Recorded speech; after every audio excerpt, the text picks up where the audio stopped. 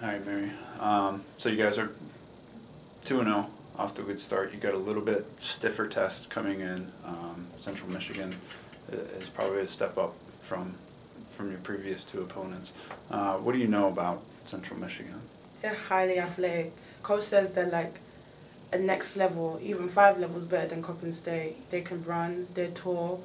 I think they match us size by size. Like usually we have like positions that we're dominating them, but they match us size by size and aggressive and physical. That's what we know about them.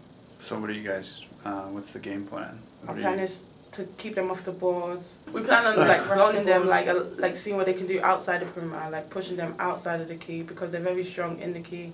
So we want to like test them from the shooting range and then keep them off the boards and keep them keep them to our pace, not their pace. We want to play at our pace. All right. Now, personally, um, you know, what what do you see that you're gonna have to do with uh, your game? I need to make some free throws. I need to start shooting my free throws better because sooner or later teams will like foul me on purpose. Like I need to be able to like knock my free throws down. I need my team to ensure that if I get the ball and they do foul me uh, intentionally, that I'm able to knock my free throws down confidently.